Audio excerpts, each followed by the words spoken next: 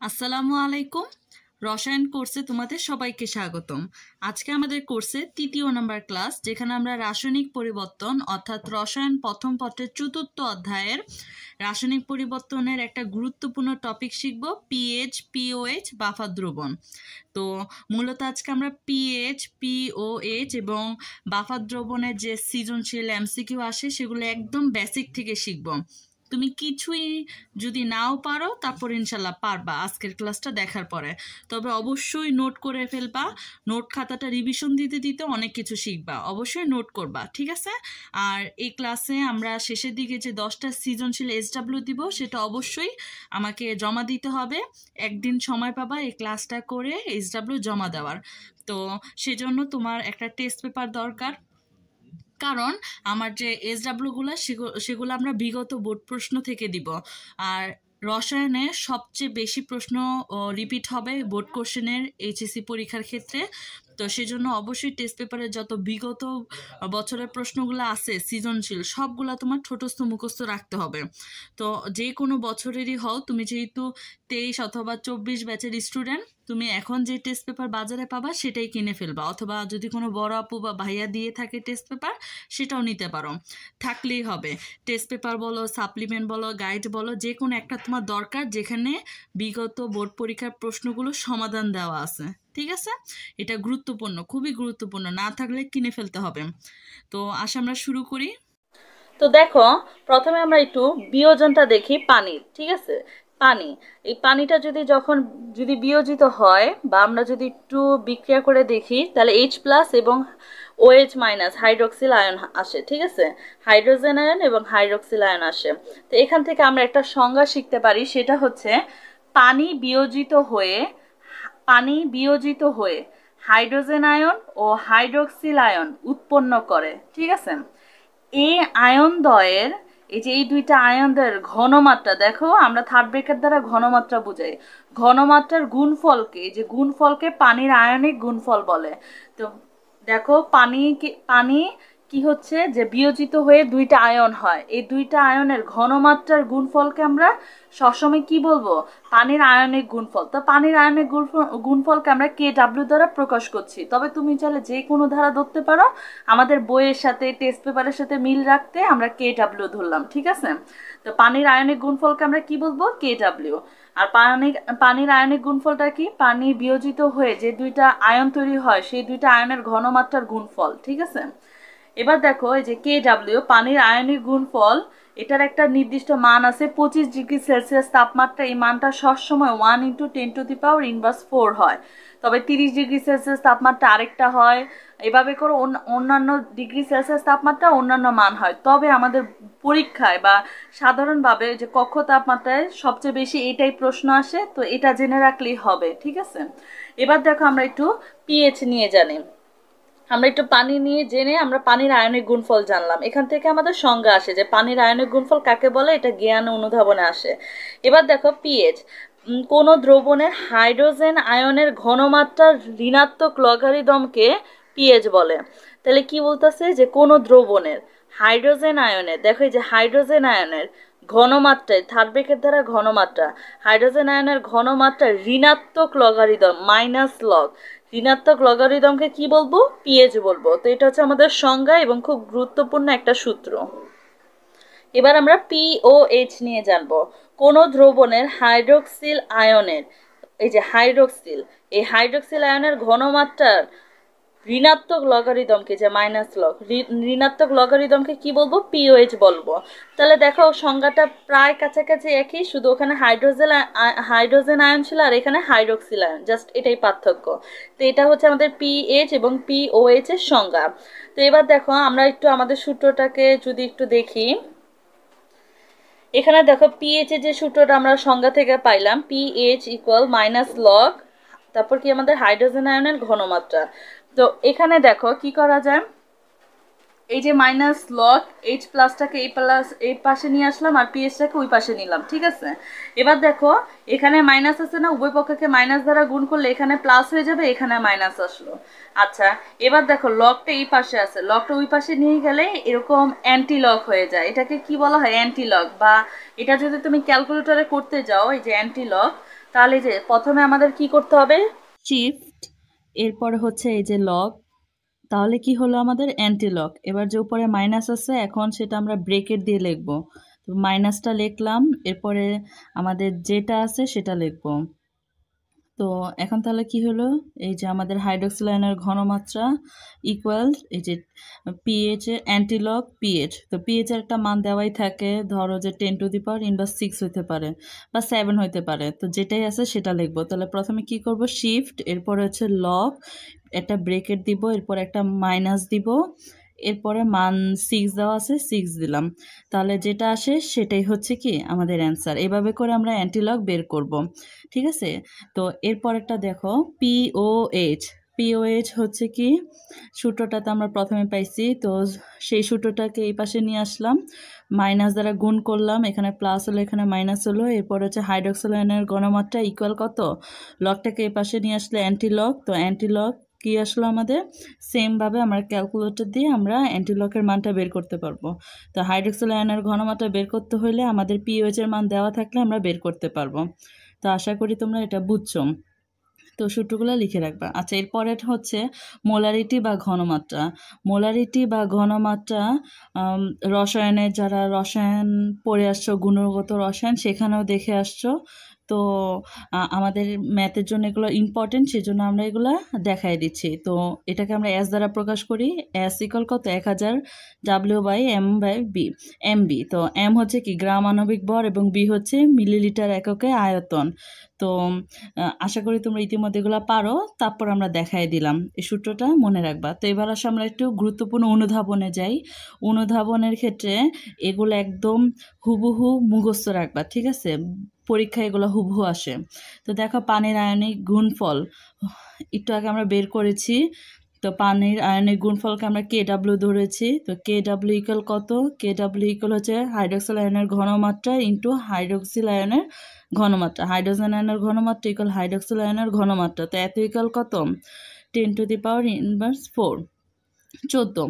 আচ্ছা তো সেটা আমরা ডাইরেক্ট লিখলাম। আমাদের পরীক্ষা এগুলো হুবহু আসে। তো এখন আমরা উভয় পক্ষে কী আনব? উভয় পক্ষে এখন আমরা লগ দ্বারা গুণ করলাম। ঠিক আছে? লগ দ্বারা গুণ করলাম। তাহলে এখন আমাদের কি আসলো?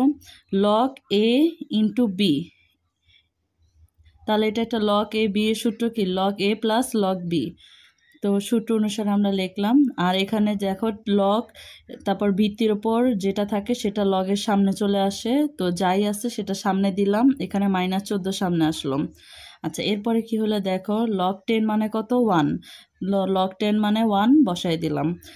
এরপরে দেখো সামনে মাইনাস আছে। তো মাইনাসটাকে আমরা এই পাশে নিয়ে আসি। উভয় পক্ষকে মাইনাস দ্বারা গুণ করলাম। তাহলে এখানে প্লাস হলো আর এখানে মাইনাস মাইনাসগুলোকে এভাবে করে লিখলাম। তাহলে দেখো মাইনাস লক এইচ প্লাস আয়নের ঘনমাত্রা পিএইচ ধরেছি। তো পিএইচ লিখে ফেললাম। এরপর প্লাস মাইনাস লক হাইড্রোক্সিল আয়নের ঘনমাত্রা। তো এটা মানে কি? পিওএইচ সূত্র থেকে জানি। তো পিওএইচ বসাই দিলাম। তার মানে আমরা কি প্রুফ কি প্রুফ হইল? পিএইচ প্লাস পিওএইচ ইকুয়াল কত? চোদ্দ। তো এটা আমাদের পরীক্ষায় আসে।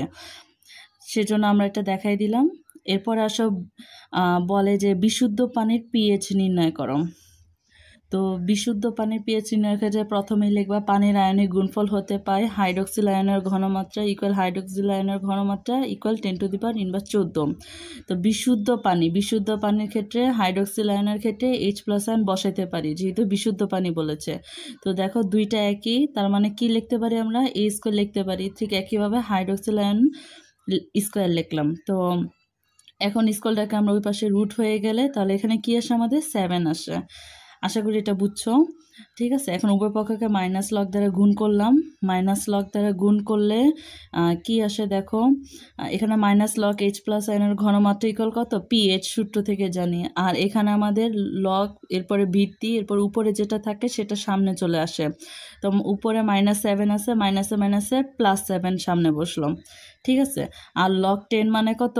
ওয়ান তো এখানে সেভেন বসল। তার মানে বিশুদ্ধ পানির পিএইচের মান কত? সেভেন আচ্ছা এটা হচ্ছে আমাদের গুরুত্বপূর্ণ অনুধাবন। অবশ্যই খাতায় নোট করে ফেলবা, প্রত্যেকটা কথাই গুরুত্বপূর্ণ। আচ্ছা এবার আমরা ছোটোবেলার একটা পড়া পড়ব, যেটা পিএইচ এর মান কোনটা হলে কি হয়? পিএইচ ইকুয়াল সেভেন হলে কি? নিরপেক্ষ। এরপরে দেখো, আমি একটু ভুল করে চিহ্নটা উল্টায় দিছি। পিএইচ পিএইচ এর মান সেভেনের থেকে বেশি হলে ক্ষারীয়। কিন্তু দেখছ, আমি চিহ্নটা উল্টায় দিছি, তোমরা ঠিক করে লিখবা। পিএইচ এর মান যদি সেভেনের কম হয় তাহলে অম্লীয়। তোমরা এই চিহ্নটি একটু ঠিক করে নিবা। আচ্ছা এরপরে দেখো যে এই যে মোলা দ্রবণ ওয়ান এম সেমিমোলা দ্রবণ মানে zero point five M decimolar দ্রবণ মানে zero point one M centimolar দ্রবণ মানে zero point zero one M millimolar দ্রবণ মানে zero point zero zero one M এগুলো আমাদের সৃজনশীলের উদ্দীপকে অনেক কাজে লাগে। শুধুমাত্র এই অধ্যায়ের জন্য না, প্রত্যেকটা অধ্যায় এগুলো খুবই গুরুত্বপূর্ণ। ঠিক আছে? এগুলা দিয়ে তোমাকে কনফিউশনে ফেলে দিবে, সেজন্য আমি এগুলো প্রত্যেকটা ভিডিওতে চেষ্টা করি দেখায় রাখতাম তো অবশ্যই একদম ঠোঁটস্থ মুখস্থ রাখবা। ঠিক আছে? এছাড়া এইচএসির বাইশ পরীক্ষায় কিন্তু এগুলো আসছে, অনেকে পারো নাই। আচ্ছা এরপর আসো শর্ট কোশ্চেন করি। One point seven five percent sulphuric acid দ্রবণে পিএইচ নির্ণয় করো। তো, এরকম কোশ্চেন থেকে তোমরা এমসিকিউ পারবা। তো, এখানে দেখো, এটা পিএইচ নির্ণয় করতে হবে আমাদের। তো, প্রথমে আমাদের কি করতে হবে? আমরা প্রথমে লিখব যে এক হাজার এক হাজার এম এল দ্রবণে, এক হাজার এম এল দ্রবণে। যদি এটা না বুঝে সমস্যা নেই, এটা আমরা এমনিতে এটা পিএইচ পিএইচের ম্যাথের স্বাভাবিক হিসেবে দেখাচ্ছি। আস্তে আস্তে সব পারবা সমস্যা নেই। আচ্ছা তো দেখো, এক হাজার এম এল দ্রবণে সালফেরিক অ্যাসিড আছে কত? One point seven five gram. তো এটা আমরা গ্রাম আকারে লিখছি, ঠিক আছে? আচ্ছা one point seven five gram.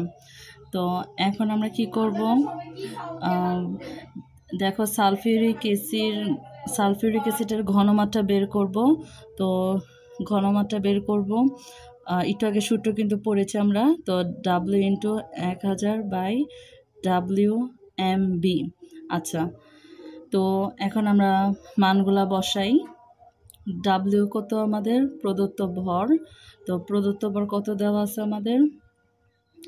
সেটা আমরা বসাবো ওয়ান পয়েন্ট সেভেন ফাইভ তো ওয়ান পয়েন্ট সেভেন ফাইভ বসাইলাম ইন্টু এক হাজার দেওয়া আছে, এক হাজার বসাইলাম। তারপর নিচে এম হচ্ছে আণবিক ভর। তো আণবিক, সালফিউরিক অ্যাসিডের আণবিক ভর হচ্ছে আটানব্বই। তো আটানব্বই বসাইলাম। আয়তন। আয়তন হচ্ছে কত আমাদের এখানে? এখানে দেখো আমাদের আয়তন হচ্ছে আচ্ছা এখানে কিন্তু আমাদের এক হাজার এম না, একশো এম হিসাব করব। তো একশো এম তার মানে আয়তন হচ্ছে একশো এম তো এখানে আমাদের ক্যালকুলেশন করবা, তাহলে কত আসে? আনুমানিক zero point one seven eight five something আসে। তো সালফেরিক অ্যাসিডের ঘনমাত্রা কত? Zero point one seven eight five এটা আসলো। আচ্ছা এখন সালফিউরিক অ্যাসিড বিয়োজন কীভাবে হয় সেটা একটু দেখি। প্রথমে আমরা সালফিউরিক অ্যাসিড একটু লিখি যে এইচ টু এসও ফোর এটা কীভাবে বিয়োজিত হয়? দেখো এইচ প্লাস আয়ন এবং SO four two minus ion তো এটা দেখো, সামনে টু বসবে মানে দুইটা হাইড্রক্সিল আয়ন ঠিক আছে? আর বিক্রিয়া যদি ভাঙতে না পারো, কোনো সমস্যা নেই, কয়েকটাই ঘুরে ফিরে আসে। করতে করতে বুঝে যাবা টেস্ট পেপার সলভ করতে থাকবা। তো তো দেখো, এখন আমাদের এখানে এইচ প্লাস আসে। পিএইচ এর সূত্রে কিন্তু এইচ প্লাস আছে সেজন্য আমাদের কি লাগবে? এইচ প্লাস আয়নের ঘনমাত্রা লাগবে।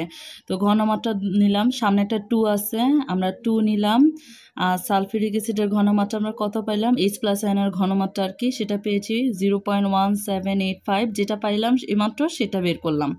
সালফিউরিক অ্যাসিডের ঘনমাত্রা মানে কি? এইচ প্লাস আয়নের ঘনমাত্রা। তো বসাই দিলাম, তো গুণ করে দিলে কত আসে? Zero point three five seven এত আসলো। তোমরা করে দেখবাম এখন পিএইচ বের করব। পিএইচ ইকল কত? মাইনাস লক এইচ প্লাস আয়নের ঘনমাত্রা। তো এখন মাইনাস দিলাম লক দিলাম এইচ প্লাস আয়নের ঘনমাত্রা যেটা বের করেছি সেটা বসাই দিবা। কত বের করেছি? Zero point three five seven এখন ক্যালকুলেটরে দেখো কত আসে? আমরা একটু করায় দেখি, যে প্রথমে আমরা মাইনাস দিব, এরপর হচ্ছে ব্রেকেট দিব, অবশ্যই ব্রেকেট ইউজ করবা। এরপর হচ্ছে আমাদের যেটা আছে সেটা দিবা zero point three five seven কত আসলো? জিরো পয়েন্ট ফোর ফোর আসলো। ফোর ফোর সেভেন তিন সংখ্যা পর্যন্ত লিখলেই ভালো। তো এটাই হচ্ছে আমাদের পিএইচ বের করলাম। আশা করি একটু একটু করে সবগুলা পারবা। এরপরে দেখো, কমলা লেবুর হাইড্রক্সিল আয়নের ঘনমাত্রা দেওয়া। এখন বলছে উক্ত রক্তের প্রকৃতি নির্ণয় করো। তার মানে আমাদের পিওএইচ দেওয়া আছে। তার মানে এসিডিক নাকি খালিও বের করতে হবে। পিওএইচ দেখো, এখানে একটু খেয়াল করো ওএইচ দেওয়া আছে। তার মানে আমাদের পিওএইচ দিয়ে ম্যাথ করতে বেশি সুবিধা হবে। তো পিওএইচ এর সূত্রটা লিখলাম pOH equal minus log hydroxyl আয়নের ঘনমাত্রা। তো এখন আমরা বের করি। ও হাইড্রোক্সিল আয়ন দেওয়া আছে, তার মানে এখন আমরা লিখি মাইনাস লক এরপরে হচ্ছে আমাদের হাইড্রোক্সিল আয়নের ঘনমাত্রা কত দেওয়া আছে? Six point three one into ten to the power inverse eleven যেটা দেওয়া আছে বসালাম এখন এটা ক্যালকুলেটারে দেখো কত আসে? টেন পয়েন্ট ওয়ান নাইন ঠিক আছে, তার মানে আমাদের পিএইচ কত আসলো? পিওএইচ আচ্ছা এখন আমার দরকার হচ্ছে পিএইচ পিএইচ দরকার। তাহলে এখন আমরা সূত্র ইউজ করব। তো পিএইচ বের করে আমরা বুঝতে পারব এটা অম্লীয় নাকি ক্ষারীয়। সেজন্য আমরা জানি পিএইচ প্লাস পিওএইচ ইকুয়াল চোদ্দ। তো পিওএইচ অলরেডি পাইছি। এখন পিএইচটা বের করতে পারব। তাহলে পিএইচ ইকুয়াল কত? চোদ্দ মাইনাস পিওএইচ এবার বসায় দাও। চোদ্দ মাইনাস পিওএইচ কত? টেন পয়েন্ট নাইন তাহলে কত আসলো আমাদের? আমাদের থ্রি পয়েন্ট এইট আসে। তো এটাই হচ্ছে কি আমাদের পিএইচ এর মান আসলো। পি পিএইচ এর মান যদি থ্রি পয়েন্ট এইট হয়, তার মানে এটা কি? এসিডিক তার মানে অম্লীয় বা এসিডিও তো এটাই কি? অ্যান্সার এভাবে করে বুঝবা। এরপরে আসো। অম্লের বিয়োজন ধ্রুবক, যেটাকে আমরা কে এ দ্বারা প্রকাশ করে। এ মানে এসিড ঠিক আছে? কেটা হচ্ছে ধ্রুবক এ হচ্ছে এসি তো কে এ দ্বারা অম্লের বিয়োজন ধ্রুবক বোঝায়। তো এটা সূত্রের প্রতিপাদনটা আমরা পড়ব। আমাদের পরীক্ষায় সূত্রের প্রতিপাদন করতে দেয় না, তারপরেও শেখার জন্য করছি। তো দেখো, একটা অম্লের বিক্রিয়া আমরা দেখি এইচ এবং পানিতে বিয়োজিত হলে হাইড্রোনিয়াম হয় এবং এ মাইনাস আয়ন হয়। তো ভরক্রিয়া সূত্র অনুসারে আমরা জানি কেসিকেল উৎপাদের ঘনমাত্রা ডিভাইডেড বাই বিক্রিয়কের ঘনমাত্রা।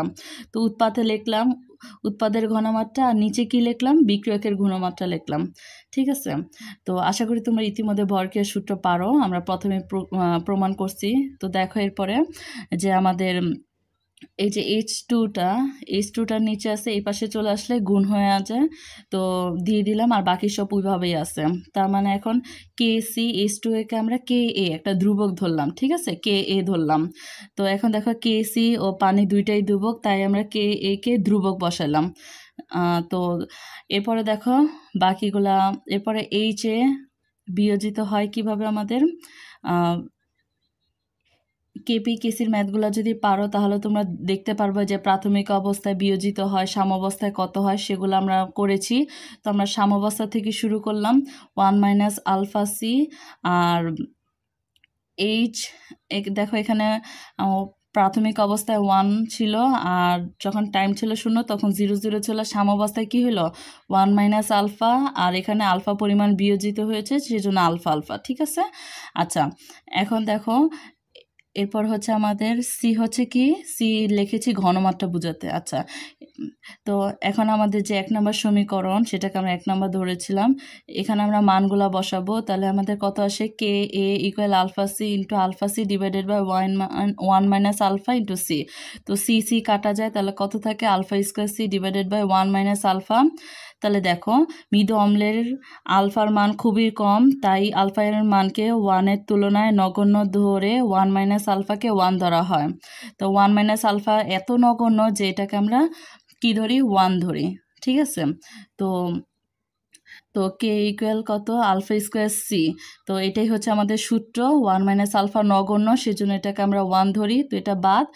আচ্ছা এরপর আসা ক্ষারের বিয়োজন ক্ষারের বিয়োজন ধ্রুবক যেটাকে আমরা কেবি দ্বারা প্রকাশ করব। তো সেম প্রসেস এটা প্রমাণ করা যায়। একটু মাথা খাটায় চিন্তা করলেই পারবা।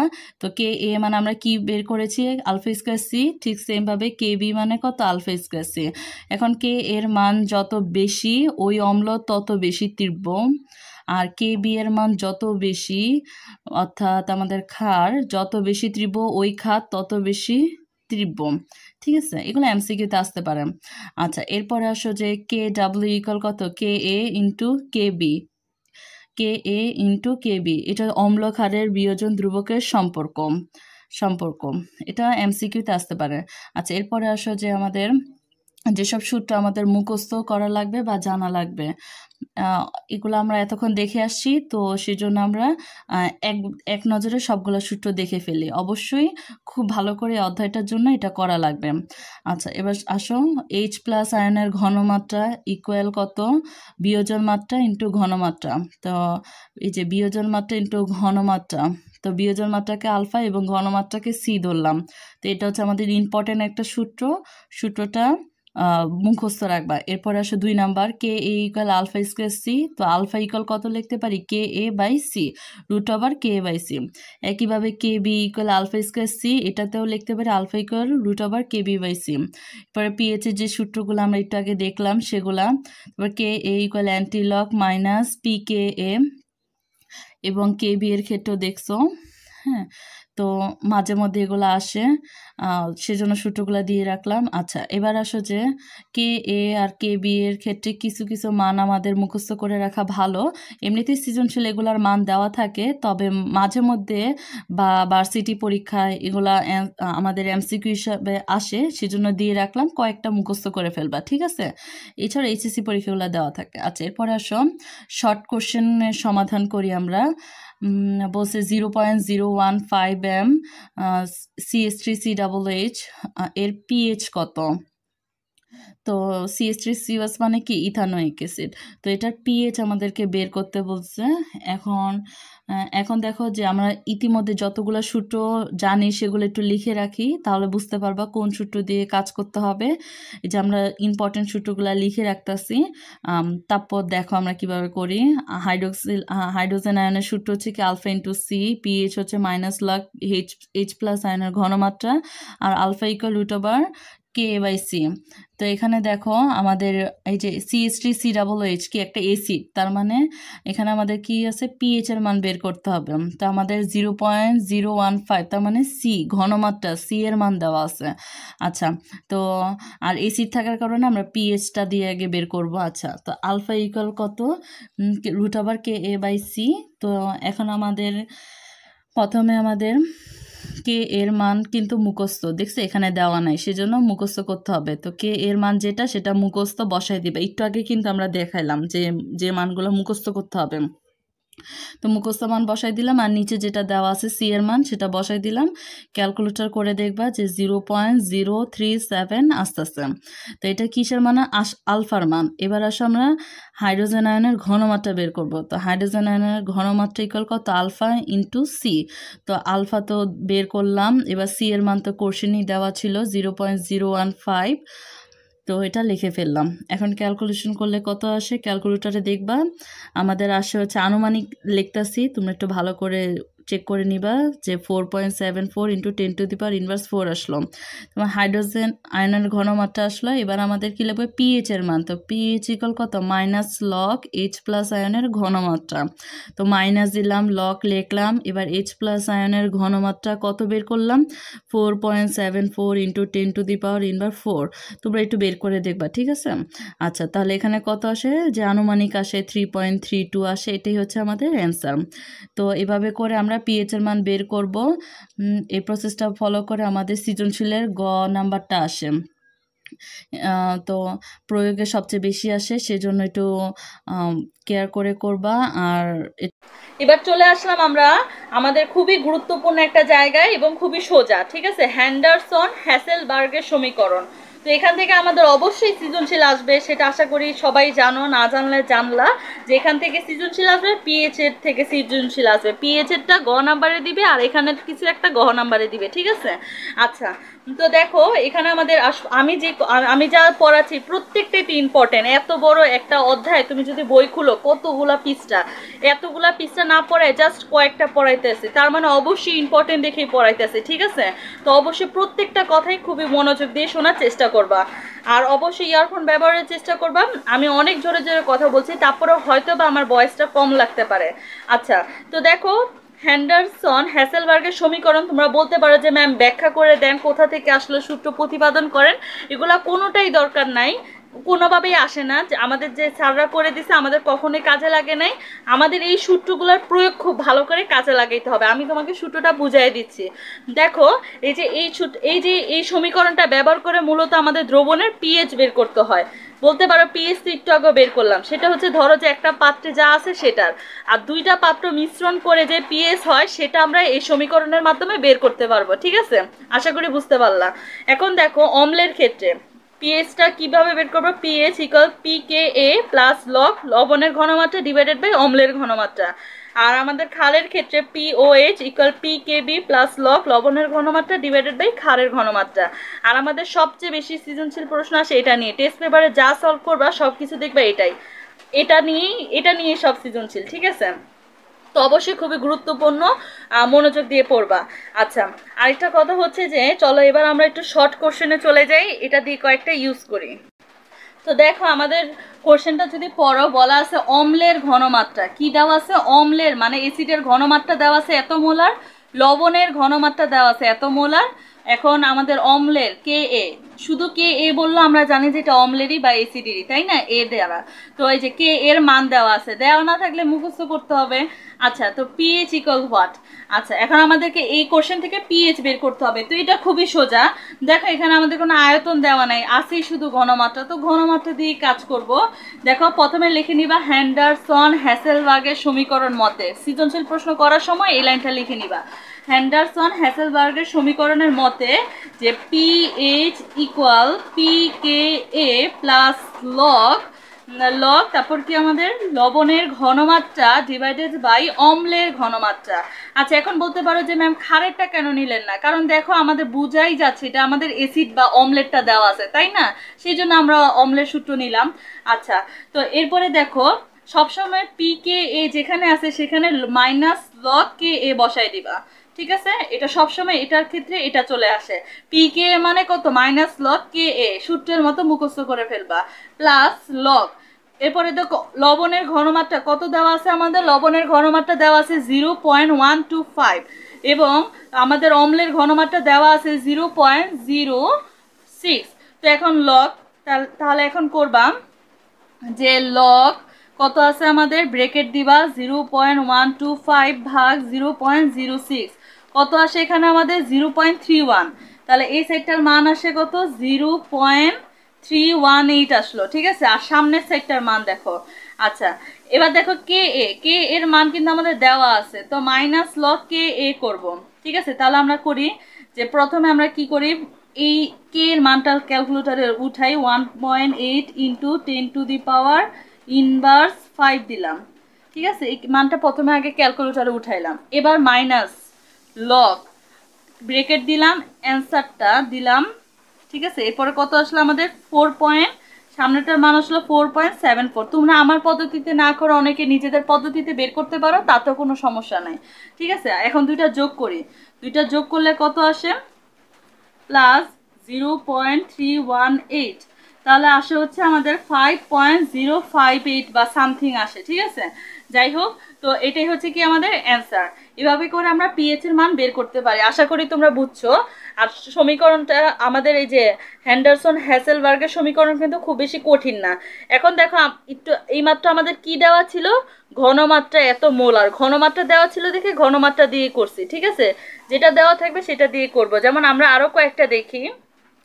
আচ্ছা প্রথমে আমরা বলি এখানে কিন্তু ভিন্ন ভিন্ন ঘনমাত্রা দেওয়া ছিল, তাই সেই জন্য করছি, ঠিক আছে? আর আয়তন যদি দেওয়া থাকে, তাহলে সেটা কি হবে? আচ্ছা তো এখানে দেখো, আমাদের হ্যান্ডেলসল হ্যাসেলবার্গের সমীকরণে যাওয়ার আগে আমরা জাস্ট এই দুইটা সিজনসের সমাধান করি, তাহলে এই অধ্যায়ের এ টু জেড সমাধান হয়ে যাবে এবং যে সমীকরণটা এইমাত্র দেখার কথা ছিল সেটাও সমাধান হয়ে যাবে। যেমন এই যে এই নাম্বারে আছে, ঠিক আছে? তো আমরা একদম প্রথম থেকে এক এক করে শুরু করি। তো সৃজনশীল প্রশ্ন দেখো, এক নাম্বারে কি দেওয়া আছে? আমাদের এ পাত্রে zero point one M ethanoic acid আছে CS three C double H একশো এম রয়েছে বি পাত্রে রয়েছে zero point one M caustic soda বা এন ও এইচ চল্লিশ এম রয়েছে এবং সি পাত্রে এই দুইটা দ্রবণের মিশ্রণ আছে। এখন আমাদেরকে খ নাম্বার বলছে এই পাত্রের পিএইচ কত। খেয়াল করে দেখো, এখানে কিন্তু কোনো মিলানো কথা বলে নাই। যখন আমাদেরকে শুধুমাত্র একটা পাত্রের ঠিক আছে, কোনো দ্রবণের মিশ্রণ না। শুধুমাত্র আলাদাভাবে একটা পাত্রের পিএইচ নির্ণয় করতে বলবে, তখন আমরা আমাদের পিএইচের যে সূত্রগুলো এতক্ষণ পড়লাম, বিয়োজন মাত্রা, সেগুলা দিয়ে করব। আর যদি দুইটা পাত্রের মিশ্রণ করে, যেমন খ নাম্বারটা দেখো সি পাত্রের পিএইচ নির্ণয় করো মানে দুইটা পাত্রের মিশ্রণ, মিশ্রণের পিএইচ নির্ণয় করতে বলে আমরা হ্যান্ডারসন হ্যাসেলবার্গের সমীকরণ ইউজ করব। আর যদি আলাদাভাবে এরকম একটা পাত্রের পিএইচ নির্ণয় করতে বলে, তাহলে কি পদ্ধতিতে করব সেটা এতক্ষণ ধরে দেখছি, সেটা আরেকবার দেখে নিই। দেখো, এই পাত্রের পিএইচ নির্ণয় করতে বসে তো আমরা লিখব যে বিয় আমরা জানি বিয়োজন মাত্রা আলফা ইকুয়াল আল, তোমরা আলফা, আলফার বদলে যা ইচ্ছা তা ধরতে পারো, তবে আমরা আলফা ধরলাম। আলফা ইকুয়াল কত? Root over K M by C আচ্ছা এটা কিন্তু আমাদের সূত্র। তো ডিভাইডেড বাই প্রথমে আমরা আলফার মানটা বের করব, আমাদের লাগবে পিএইচ আচ্ছা তো কে এর মান কিন্তু আমাদের উদ্দীপকে দেওয়া আছে। বেশিরভাগ, সব সৃজনশীল ক্ষেত্রেই দেওয়া থাকে, সৃজনশীল প্রশ্ন দেওয়াই থাকে। আচ্ছা তারপর দেখো যে কে এর মান বসালাম one point eight into ten to the power inverse five divided by C হচ্ছে কি আমাদের? সি হচ্ছে আমাদের ঘনমাত্রা। তো ঘনমাত্রা তো এখানে আমাদের দেওয়া আছে, সেটা কত? Zero point one zero point one M তো এখান থেকে একটা কিছু বের হবে, সেটা কত ধরলাম? আচ্ছা ক্যালকুলেটর ছাড়াই আমরা বসাই zero point zero three seven. তোমরা একটু করে দেখবা, ঠিক আছে? এখান থেকে ক্যালকুলেশন করলে আমাদের এই মানটা আসলো, আলফার মান। আচ্ছা এরপরে কি করব। এরপরে দেখো আমরা জানি যে আমাদের এইচ প্লাস আয়নের ঘনমাত্রা। এইচ প্লাস আয়নের ঘনমাত্রা ইকুয়াল কত? আলফা ইন্টু সি এটাও একটা সূত্র, আমরা আগেই বলেছি। এখন আলফার মান কত? আলফার মান হচ্ছে zero point zero three seven into C এর মান কিন্তু প্রশ্ন আগেও দেওয়া ছিল জিরো পয়েন্ট ওয়ান এই পাত্রের ক্ষেত্রে আমরা বের করছি। তাহলে এখানে কত আসলো? ধরো যে four point seven ten to the power inverse four something আসলো, ঠিক আছে? আচ্ছা তো এইচ প্লাস পর্যন্ত গেলাম। এখন আমাদের লাগবে কি? পিএইচ পিএইচ এর সূত্র কি? PH equal minus log H plus আয়নের ঘনমাত্রা। লিখলাম, তো মাইনাস লগ দিলাম, এবার H plus ion H plus আয়নের ঘনমাত্রা তো বের করে ফেলছি। লেখো যে four point seven four three into ten to the power inverse four তো ক্যালকুলেশন করলে কত আসলো? ক্যালকুলেশন করলে ধরো যে থ্রি পয়েন্ট টু থ্রি আসলো। তো এটাই হচ্ছে কি আমাদের অ্যান্সার এভাবে করে আমরা পিএইচ বের করব। ব্যাপারটা বুঝতে পারছ? যখন শুধুমাত্র একটা পাত্র, কোনো মিশ্রণ না, একটা পাত্রের পিএইচ নির্ণয় করতে বলবে, তখন আমরা এই পদ্ধতিতে বের করব। আর এই যে এই যে খ নাম্বার এর পরে যেটা করতেছি, সেটাতে দেখো দুইটা পাত্র, এই যে, দুইটা পাত্রের মিশ্রণ। মিশ্রণের পিএইচ নির্ণয় করতে বলে আমরা হ্যান্ডারসন হ্যাসেলবার্গের সমীকরণ দিয়ে করব। তো চলো করি। আচ্ছা এবার দেখো এর পরেরটা যেটা আমরা করি, সেখানে বলা আছে যে সি পাত্রের পিএইচ নির্ণয় করো। সি পাত্রে কি রয়েছে? সি পাত্রে এ আর বি এর মিশ্রণ রয়েছে। এ আর বি এর মিশ্রণের পিএইচ নির্ণয় করতে হবে। অবশ্যই খুবই সোজা, প্রথমটার মতোই খুবই সোজা। আচ্ছা এক্ষেত্রে আমরা কি বলছিলাম? হ্যান্ডারসন হ্যাসেলবার্গে দেখো, কিছুক্ষণ আগে আমরা যখন করছি, তখন কিন্তু আমাদের দুইটারই আমাদের ঘনমাত্রা দেওয়া ছিল, ঠিক আছে? এখন দেখো, আমাদের ঘনমাত্রা দেওয়া আছে, আবার আয়তনে দেওয়া আছে। তো দেখো এই ক্ষেত্রে যখন ঘনমাত্রা মিলে যাবে দেখো দুইটার ঘনমাত্রা একই। তখন আর আমাদের ঘনমাত্রা তখন দরকার নাই, তখন আমরা আয়তন দিয়ে কাজ করব। ঘনমাত্রার ক্ষেত্রে তো ডাইরেক্ট বসাই দিছি, তাই না? কিন্তু আয়তনের ক্ষেত্রে একটু যোগ বিয়ে করতে হবে জাস্ট এটাই। তো দেখো এখন আমরা করি আমরা কিন্তু এই যে এই সূত্রটা ইউজ করতেছি। আচ্ছা তো দেখো, এখন যদি করি, তাহলে প্রথমে আমরা কি করব? যদি ঘনমাত্রা দুইটা একই থাকে, দেখো, খেয়াল করে দেখো, দুইটা পাত্রের ঘনমাত্রা একই, তখন আর ঘনমাত্রা নিয়ে কাজ করার দরকার নাই। তুমি চাইলে করতে পারো, তবে আর দরকার নাই। ঘনমাত্রা যদি একই হয়, ঘনমাত্রা নিয়ে আর এই সূত্রের কাজ করার দরকার নাই। যদি ঘনমাত্রা দেওয়াই না থাকে, তাহলেও সমস্যা নাই। ঠিক আছে? ঘনমাত্রাই থাকতে হবে, এমন কোনো কথা না। প্রশ্নে নাও দেওয়া থাকতে পারে। না দেওয়া থাকলে কীভাবে বের করব আয়তন দিয়ে সেটা আমি দেখাই দিচ্ছি। যদি গণমাত্রা একই দেওয়া থাকে, তাহলে আর গণমাত্রা ইউজ করারও দরকার নাই। তার মানে ঘনমাত্রা দুইটার এক থাকলেও ইউজ করার দরকার নাই ঘনমাত্রা যদি দেওয়া না থাকে, তাহলেও ইউজ করার দরকার নাই। ঠিক আছে, আয়তন দিয়ে কীভাবে বের করতেছে সেটা আমরা দেখি। আর যদি ঘনমাত্রা দুইটা দুই রকম থাকে, তাহলে কিন্তু ইউজ করতেই হবে। ধরো এখানে জিরো পয়েন্ট ওয়ান এখানে জিরো পয়েন্ট ফাইভ তখন কিন্তু ঘনমাত্রা ইউজ করে আমরা এই সূত্রটার মান বের করব, ঠিক আছে? তো আমরা এক এক করে সবগুলাই দেখব। প্রথমে আমরা যেটা দেখছি সেটা হচ্ছে কোনো আয়তন দেওয়া ছিল না, শুধুমাত্র দুইটার ঘনমাত্রা দেওয়া ছিল, ঠিক আছে? যেমন এই যে এই এইটাতে আমরা যেটা ইউজ করছি, এটাতে আমাদের কি ছিল? কোনো আয়তনই দেওয়া ছিল না। কোনো আয়তন দেওয়া ছিল না, আমাদের শুধুমাত্র ঘনমাত্রা দেওয়া ছিল, তখন এটা করছি। আচ্ছা আর এখন আমরা যেটা করব সেটা হচ্ছে দুইটার আয়তন আমাদের ঘনমাত্রা একই, তো আর ধরে লাভ নাই। এখন আমরা আমাদের শুধু আয়তন দিয়ে কাজ করব। আচ্ছা তো অনেক ব্যাখ্যা দিলাম, এবার চলো শুরু করি। এখন আমরা কি করব তাহলে? প্রথমে আমরা আমাদের বিক্রিয়াটা লিখে নিই, যেহেতু আমাদের শুধু আয়তন দিয়ে কাজ, তো বিক্রিয়াটা লিখলাম এত plus N A O S caustic সোডার সাথে বিক্রিয়া করে কি তৈরি হবে বলো তো আচ্ছা আরেকটা জিনিস দেখতে হবে যে হ্যান্ডারসল হ্যাসেলবার্গের সমীকরণের ক্ষেত্রে সবসময় আমাদের এসিড এবং ক্ষারের বিক্রিয়া হয়। এসিড এবং ক্ষারের বিক্রিয়ায় আমাদের প্রশমন বিক্রিয়া হয় আর কি, লবণ আর পানি উৎপন্ন হয় সব সময় তো আর আমাদের পরীক্ষায় সবসময় এই বিক্রিয়াটাই আসে। তো এটা মুখস্থ করে ফেললেই হবে। দেখো সিএসসি সি ডাবল এইচ পর্যন্ত আসলো, এরপরে এই যে এইচ এর জায়গায় এন আসলো। সোডিয়াম প্লাস এইচটা এখানে চলে আসলো, তার মানে এইচ টু ও এই বিক্রিয়াটা মুখস্থ করে ফেলবা আর টেস্ট পেপার যদি সলভ করো, তাহলে তো এমনিতেই মুখস্থ হয়ে যাবে। কারণ প্রত্যেকটা টেস্ট পেপারে একই বিক্রিয়া। এটা নিয়ে সবগুলো আসছে। তো অবশ্যই এই বিক্রিয়াটা ভালো করে পড়ে ফেলবা। আর কঠিন তো কিছু না। আচ্ছা প্রথমে আমরা এটা লিখলাম। এবার দেখো আমি আমার পদ্ধতিতে না করে তোমাদের টেস্ট পেপারের পদ্ধতিতে করার চেষ্টা করি। তোমরা যেহেতু অনেকে টেস্ট পেপার ফলো করবা। তো দেখো, প্রাথমিক অবস্থায় আমাদের কেপি গেসি ম্যাথের মধ্যে প্রাথমিক অবস্থায় মূল সংখ্যা বা প্রাথমিক অবস্থায় লেখবা। আচ্ছা লেখার পরে দেখো, প্রাথমিক অবস্থায় আমাদের কি ছিল? প্রাথমিক অবস্থায় আমাদের যেহেতু মোলারিটি দুইটারই এক বা ঘনমাত্রা এক, ঘনমাত্রার হিসাব করব না, প্রাথমিক অবস্থায় একদম শুরুতে এটা ছিল কত? একশো এম আর কস্টিক সোডার কত ছিল? চল্লিশ এম আর একদম প্রাথমিক অবস্থায় যখন টাইম শূন্য, যখন আমাদের টাইম কত ছিল? শূন্য, তখন এখানে সব শূন্য ছিল। ঠিক আছে? এবার আসো যে সাম্যাবস্থায় সাম্যবস্থায় কি ছিল? সাম্যাবস্থায় হলো কি? এই যে, এখন আমাদের দেখো, এখানে একটু খেয়াল করো, এটা হচ্ছে আমাদের এসিড আর এটা হচ্ছে আমাদের ক্ষার। তো যেটার পরিমাণ সবচেয়ে কম, এখানে একশো আর চল্লিশ কোনটার পরিমাণ কম? এটার পরিমাণ কম, তার মানে এটা ভ্যানিশ হয়ে যাবে। কীভাবে দেখো? এই যে, চল্লিশ এম তো তো এখান থেকে সবগুলা, এই একশো থেকে আমাদের চল্লিশ বাদ গেল। এখান থেকে আমাদের চল্লিশ বাদ গেল। আর এই সাইডে এসে সাম্যাবস্থা এখানে চল্লিশ করে গেল, ঠিক আছে? এই যে, আমাদের লবণের নিচে চল্লিশ, পানির নিচেও চল্লিশ, ঠিক আছে? ব্যাপারটা বুঝো আরেকবার। আমরা কিন্তু কেপি গেসির ম্যাথগুলো করছি। যখন এখানে এ বি ধরছি, তখন এখানে বিয়োজন ধ্রুবক হিসেবে এক্স নিয়েছিলাম এখানে এক্স মাইনাস দিয়েছি আর এখানে এক্স এক্স দিয়েছি। আশা করি আগের ক্লাসটা করছ। সেম একই পদ্ধতিতে আর কি করলাম, ঠিক আছে? তোমরা চাইলে যে কোনো পদ্ধতিতে করতে পারো। আমি টেস্ট পেপারের পদ্ধতিটা অবলম্বন করছি, যেহেতু অনেকে টেস্ট পেপার সলভ করবে এই ক্লাসের শেষে, সেজন্য। আচ্ছা তো এভাবে করলাম। এখন দেখো তাহলে ক্যালকুলেশন করলে এখানে কত আসে? ষাট এম আসে। এখানে কত? জিরো এম আসে। মনে রাখবা যেটা কম, যেটা সবচেয়ে কম, সেটাই ওই পাশে যাবে, ঠিক আছে? আচ্ছা তাহলে দেখো, এট- একটু হলো, এখানে তাহলে চল্লিশ আর এখানে তো চল্লিশ আছে। আচ্ছা এখন আমরা কি করব? হিসাব করি, এটা হচ্ছে আমাদের এসিড আর এটা হচ্ছে কি আমাদের?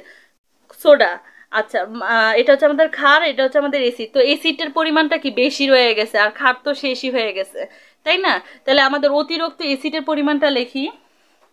অতিরিক্ত এসিডের পরিমাণ। অতিরিক্ত এসিডের পরিমাণ কত? অতিরিক্ত অ্যাসিডের পরিমাণ রয়ে গেছে ষাট এমএল। আচ্ছা এবার দেখো আমাদের লবণের হিসাব করব। এটা কি আমাদের লবণ? আচ্ছা লবণের, উৎপন্ন লবণের পরিমাণ। এটা কি উৎপন্ন হয়েছে? তো উৎপন্ন লবণের পরিমাণ। উৎপন্ন লবণের পরিমাণ কত? চল্লিশ এমএল। আচ্ছা তাহলে দেখো এসিড আর লবণের একটা হিসাব পাইলাম। এখন আমরা লিখব যে হ্যান্ডারসন হ্যাসেলবার্গের সমীকরণ মতে লেখবা। লেখার পরে এরপরে যে আমাদের বিখ্যাত সূত্রটা লিখে দিবা। আচ্ছা এখানে দেখো আমরা কেন কেন আমরা এই এই দুটো সূত্রের মধ্যে কেন এটা ইউজ করব? দেখো, এটা কিন্তু আমাদের এসিডের পরিমাণ অতিরিক্ত রয়ে গেছে। তার মানে এটা হচ্ছে আমাদের এসিডিক একটা লবণ উৎপন্ন হয়েছে। সেই জন্য আমরা এই এসিডের হিসাবটা করবে যে লবণ বাই অম্ল। এটা এসিডের ক্ষেত্রে না সেই জন্য আমরা এটা নিব। আচ্ছা আর যদি এখানে আমাদের কস্টিক সোডা বা খার বেশি হয়ে যায় তো তখন আমরা খারেরটা নিতাম। ঠিক আছে? আচ্ছা এখন আমরা কি? আমাদের এসিডিক দ্রবণ যেহেতু আমরা এসিডের সূত্র নিব। তাহলে হচ্ছে pH pH equal P K A plus log লবণের ঘনমাত্রা ডিভাইডেড বাই অম্লের ঘনমাত্রা। আচ্ছা লিখলাম। তো এখন দেখো জাস্ট মানগুলো একটু বসাবো, আর অনেক আগে বসি পি কে এম মানে কি বসাই দিব? মাইনাস লগ কে এ বসাই দিব। প্লাস প্লাস এরপরে দেখো লগ বসাইলাম। এরপর হচ্ছে আমাদের লব- লবণ। লবণের ঘনমাত্রা ডিভাইডেড বাই অম্লের ঘনমাত্রা। আচ্ছা এখন দেখো এখানে কিন্তু আমাদের ঘনমাত্রার কথা বলছে। আর আমরা কিন্তু ঘনমাত্রা বের করার জন্য, বের করা যায় তো আমাদের যেহেতু আমাদের কোশ্চেনে আমাদের ঘনমাত্রা দেওয়া ছিল, তো এখানে ক্যালকুলেশন করে আমরা ঘনমাত্রা বের করতে পারতাম। কিন্তু অনেক ক্ষেত্রে আমাদের ঘনমাত্রা দেওয়া থাকে না। তখনও, তখন আমরা কীভাবে করব সেটা বোঝার জন্য আমরা ঘনমাত্রা ছাড়াই ম্যাথ করতেছি, ঠিক আছে? তবে অ্যান্সারে কোনো পার্থক্য হবে না। দেখো, যখন এই পর্যন্ত তো আসলাম, তার আগে আমরা একটা লাইন লিখে রাখব। এখানে যেহেতু আয়তন আকারে দেওয়া আছে, আমরা লিখে রাখব যে সুতরাং লবণ ও অম্লের অনুপাত সুতরাং লবণ ও অম্লের অনুপাত, এই লাইনটা এই সূত্রটা করার আগে লিখে ফেলা ভালো। অনুপাত অনুপাত কত হবে? লবণ। আর লবণ হচ্ছে আমাদের চল্লিশ ইস টু ষাট, ঠিক আছে? এই আকারে লিখে ফেলবা, তাহলে আমাদের করতে সুবিধা হবে। লবণ হচ্ছে চল্লিশ এবং অম্ল হচ্ছে ষাট। অনুপাতটা লিখে ফেলবে, এরপরে লিখবে হ্যান্ডারসন, হ্যাসেলবার্গের সমীকরণ মতে এত এত পাই। এখন দেখো, লবণ এবং অম্লের অনুপাত এত আসলো। লবণ কত? চল্লিশ। তো চল্লিশ বাই অম্ল হচ্ছে কত? ষাট। আচ্ছা এবার ক্যালকুলেশন করো। ক্যালকুলেশন করলে এখানে দেখো মাইনাস লগ কে এ কে এর মান কিন্তু দেওয়া আছে। কে এর মান যদি এখানে বসায় দাও, তাহলে এই পুরাটার মান কত আসে? পুরাটার মান আসে আমাদের আনুমানিক ফোর পয়েন্ট সেভেন ফোরের মতো, এবং এখানে যদি ক্যালকুলেশন করো, তাহলে আমাদের কত আসে? চল্লিশ ভাগ ষাট এবং লগ অ্যান্সার তাহলে কত আসে আমাদের? Minus minus zero point one seven আসে। ঠিক আছে? তাহলে এখান থেকে বিয়োগ করে দাও। বিয়োগ করে দিলে আসে আমাদের four point five six four আচ্ছা এবার কিন্তু তোমরা দেখবা বইতে, এই যে আমাদের টেস্ট পেপারে ঘনমাত্রা দেওয়ার কারণে তারা কিন্তু এই পরে ঘনমাত্রা বের করে ফেলে। এই যে লবণের ঘনমাত্রাটা আলাদাভাবে বের করে, অম্লের ঘনমাত্রাটা আলাদাভাবে বের করে। এটা টেস্ট পেপারে দেখবা, ঠিক আছে? তো তুমি চাইলে সেই পদ্ধতিতে যাইতে পারো এবং আমরা আমাদের অন্য আরেকটা ম্যাথে সেটা দেখাবো। আবার তুমি চাইলে এটা ছাড়াই করতে পারো। যেহেতু আমাদের ঘনমাত্রা মিলে গেছে ঠিক আছে? ঘনমাত্রা যেহেতু মিলে গেছে সেই জন্য তুমি ঘনমাত্রা ছাড়াই করতে পারো। ঠিক আছে? তুমি চাইলে আমার পদ্ধতিতে করতে পারো অথবা টেস্ট পেপারে দেখবা যে আলাদাভাবে ঘনমাত্রা মিলে যাওয়ার পরও সেটা ইউজ করা হয়েছে। সেটাও হবে, এটাও হবে, তবে অ্যান্সার কিন্তু একই আসে। কারণ তুমি দেখো, যখন ঘনমাত্রা মিলে যায়, এখানে কাটছিট হয়ে যায় উল্টায় দিলে। তো যেই মান, সেটাই আসে। সেজন্য আর আমরা ইউজ না করলেও চলে। তো আমরা আরেকবার একটু বলে রাখি, যদি মাথা আওলা জ্বালা হয়ে যায়, দেখো যদি ঘনমাত্রা দুইটার একই থাকে, তাহলে আর তোমার ইউজ করার কোনো দরকার নাই। সেটা আমার কথা না, আমি কিন্তু আমার সময়, আমার প্রত্যেকটা টিচার কোচিং প্রাইভেট সবাই যখন ঘনমাত্রা মিলে গেছে, তখন আর আমাদেরকে ঘনমাত্রা ইউজ ছাড়াই এইভাবে করাইছে, ঠিক আছে? আমরা বোর্ড পরীক্ষা এভাবে করে আসছি। আর হ্যাঁ আরেকটা হচ্ছে যদি ঘনমাত্রা না মিলে, তখন কিন্তু ঘনমাত্রা ইউজ করতে হবে। ধরো যে এখানে জিরো পয়েন্ট ওয়ান এখানে জিরো পয়েন্ট ফাইভ তখন কিন্তু আর বাদ দেওয়া যাবে না, তখন সেটা ইউজ করতে হবে। এখন যেহেতু মিলে গেছে, তাই এই পদ্ধতিতে করলেই হবে, যে আর কোথাও ইউজ করব না। ঠিক আছে? আচ্ছা আরেকটা কথা হচ্ছে যে, যদি গণমাত্রা দেওয়াই না থাকে, তাহলে দেওয়া না থাকলে নাই। এই যে আমরা যে অ্যান্সারটা বের করলাম, এখানে কি ঘনমাত্রার কোনো ইউজ করছি? ইউজই করি নাই। দেওয়া না থাকলে নাই, মিলে গেলেও নাই, আর যদি দুইটা দুই রকম থাকে, তাহলে ইউজ করতে হবে, ঠিক আছে? আশা করি বুঝতে পারছ। এবার আসো যে, আমরা এই পরেরটা একটু করি। সি পাত্রে অল্প পরিমাণ অম্ল বা ক্ষার যোগ করলে পিএইচ মানের কোনো পরিবর্তন হবে কিনা? এটা একটা ব্যাখ্যা আর কি। তুমি টেস্ট পেপারে যতবারই এই পিএইচ এর প্রশ্নটা আসছে বেশিরভাগ, এরপরে এটাই আসছে। এবং এটা জাস্ট একটু ব্যাখ্যা। তুমি যদি টেস্ট পেপারটা একটু পড়ো, বাংলা ভাষার ব্যাখ্যা, তাহলে তুমি বুঝতে পারবা। তারপর আমি একটু আমার ভাষায় বলে দেই। দেখো, যতবার এই প্রশ্নটা আসছে যে সি পাত্রের পিএইচ নির্ণয় করো, নির্ণয় করার পরে পিএইচ এর মান, ধরো আমরা কত পাইছি? ফোর পয়েন্ট সামথিং তার মানে পিএইচ এর মানটা দেখে আমরা কি বুঝতে পারছি? যে আমাদের সি পাত্রটা কি অম্লীয়? সি পাত্রটা কি অম্লীয়। এটা তো বুঝতে পারছি। আচ্ছা তার মানে এটা অম্লীয় না ক্ষারীয়, সেটা আমরা বের করে ফেলি। আগেই বের করে ফেলা হয়, এরপরে এই প্রশ্নটা করা হয় সব সময় আচ্ছা তো এটা যে অম্লীয়, সেটা আমরা বুঝতে পারছি। আচ্ছা আর ক্ষারীয় হলো একটা, অম্লীয় হলে আরেকটা। ক্ষারীয় হলে ধরো এটা, এখন তো আমাদের অম্লীয় বের হয়েছে, তাই না? আচ্ছা এরপরে দেখো, সি পাত্রে অল্প পরিমাণ ক্ষার অথবা অম্ল যোগ করব। আচ্ছা আমাদের সি পাত্রটা কি?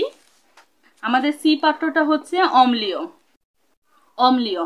আচ্ছা আরেকটা মনে রাখতে হবে, আমাদের কিন্তু এটা বাফা দ্রবণ। বাফা দ্রবণ কীভাবে চিনব? বাফা দ্রবণ হচ্ছে যে, বাফা দ্রবণ যদি বলি, একটু এটা একটা ডাইরেক্ট নোট খাতা এখান থেকে যদি দেখাই দেই, যে সকল দ্রবণে অল্প পরিমাণে অম্ল বা ক্ষার যোগ করলে পিএইচ এর মানের কোনো পরিবর্তন হয় না, তাদেরকে বাফা দ্রবণ বলে। মানে এটা এমন একটা দ্রবণ যে দ্রবণে তুমি অল্প পরিমাণে একটু অ্যাসিড আর অল্প পরিমাণে একটু ক্ষার অথবা অল্প পরিমাণে একটু ক্ষার যদি যোগ করো, তাহলে পিএইচ এর মানের কোনো পরিবর্তন হয় না, ঠিক আছে? আর আমাদের এই দ্রবণটাই যে বাফা দ্রবণ, সেটা আমরা বুঝি কীভাবে? একটা হচ্ছে সবচেয়ে শর্টকাট আর কি পদ্ধতি হচ্ছে আমাদের পুরা টেস্ট পেপারে এই সিএসটি সি ডাবল এইচ আর এটা দিয়ে বারবার করায়, আর এটা যে বাফা দ্রবণ তোমার করতে করতে মুখস্থ হয়ে যাবে। আর এটা যদি আমরা একটু জ্ঞানের দিক দিয়ে বলি, সেটা হচ্ছে যে, দেখো এটা হচ্ছে এসিড আর এটা হচ্ছে ক্ষার।